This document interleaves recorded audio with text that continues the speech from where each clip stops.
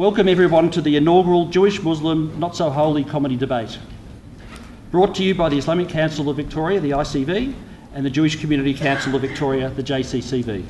We're here to demonstrate that Jews and Muslims can work together with a smile and in good faith. We believe that we have more in common than areas of difference with our Abrahamic faiths, love of family, and experience of immigration to Australia. So we're here to break down stereotypes and show that we can work together harmoniously and in goodwill, building trust and friendships.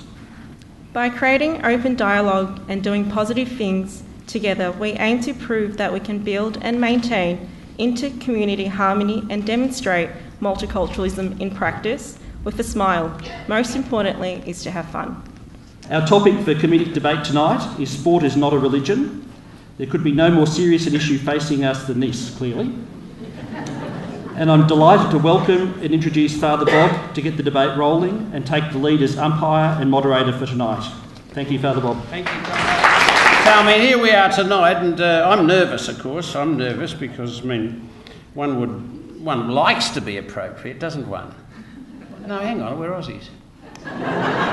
so we don't like to be appropriate for some reason or other because allegedly, if you are appropriate, you're almost um, uh, betraying the working class uh, to the upper class.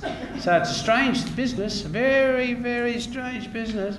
That's why when, when they invited me, I, I, think I don't think I thought clearly enough. And then, of course, you had the Eddie McGuire thing, and I was hoping they'd call it off because you've got hardly anywhere to go.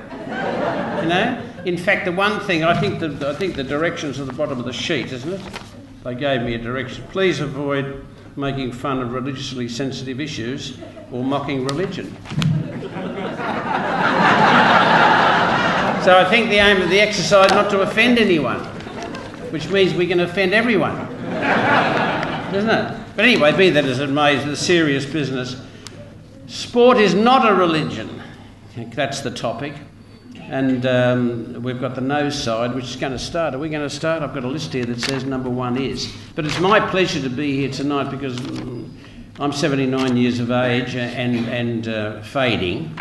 Um, I would rather fade out um, to a kind of the um, to a multicultural and multi-faith um, song. You know what I mean? Because I thought that's what it was all about, as far as I knew. And I thought the most important way, because you have to be culturally sensitive, and I, because the Aussies, I suspect, and I think I'm, I am one of them, therefore I can say rude things about us, can't you? If you're in house, you can be rude to one another, but nobody else is able to be. Isn't that right? Um, so, I mean, the Aussies I think, from the point of view of multicultural and all that, I thought the Aussies were aim was to have no culture. You know what I mean? Is that all right?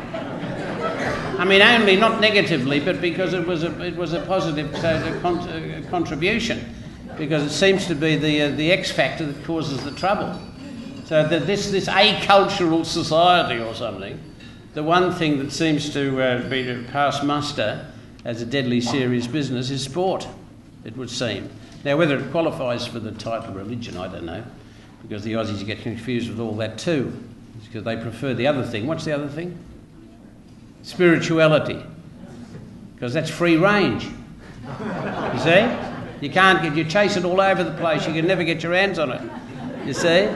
But religion is a bit like battery driven, that it won't go away off the beaten track. And, and that's, you know, I, I had hoped in my lifetime, I found more, more, more faith outside churches than I've found inside. That's my problem. Ladies and gentlemen, Bram Presser. Ladies and gentlemen, sports fans, God lovers, idol worshipping infidels of the negative team, and Father Bob, who I have to say, of all the Maguires who say crazy stuff on radio, oh, yes. you, sir, are my favourite.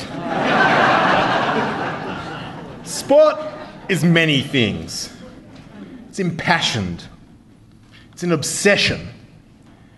A sense of identity. It's kind of homoerotic. and the all important means by which we separate the jocks from the nerds at a very early age, thereby ensuring that I didn't get to talk to a girl let alone touch one, till I was well over 15 years old. But one thing sport is not sport is not a religion.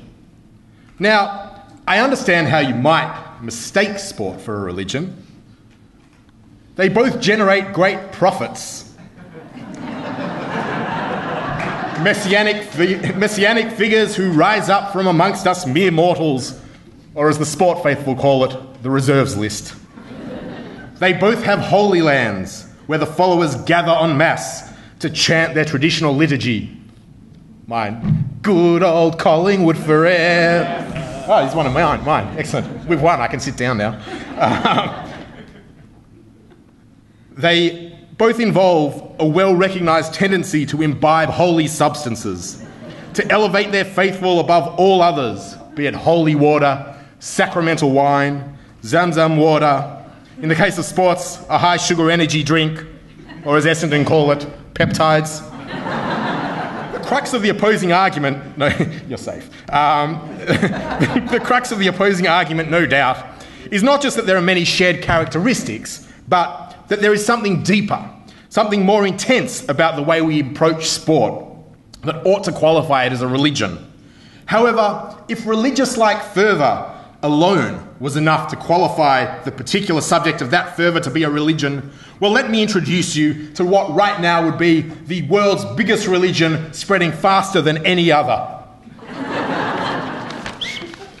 So far as I'm aware, he speeds up, a religion requires a moral framework around which its followers can base their lives. And so I'm going to see how sport stacks up against the moral framework I know best the Ten Commandments, abridged. First commandment I am the Lord your God. So, a being with power beyond that of any human, who messages, whose messages spread far and wide, who seems to be everywhere. That's what sport has to offer. you shall have no other Lord but me.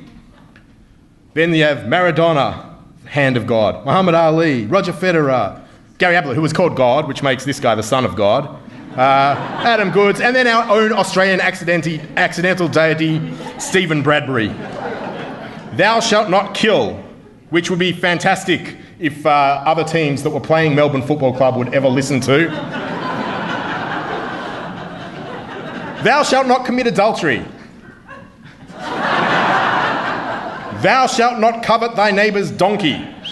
No, it's like 10 seconds. Um, is any neighbour's donkey more coveted than this?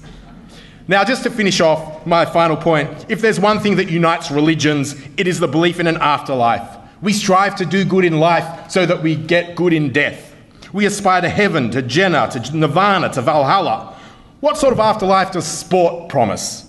Years of physiotherapy and maybe a job doing commentating on community radio, or maybe if you're lucky, 3AW. But as my friends on my team have pointed out, no sport promises 72 virgins, unless, of course, you play for St Kilda. And we all know how that turned out. Thank you.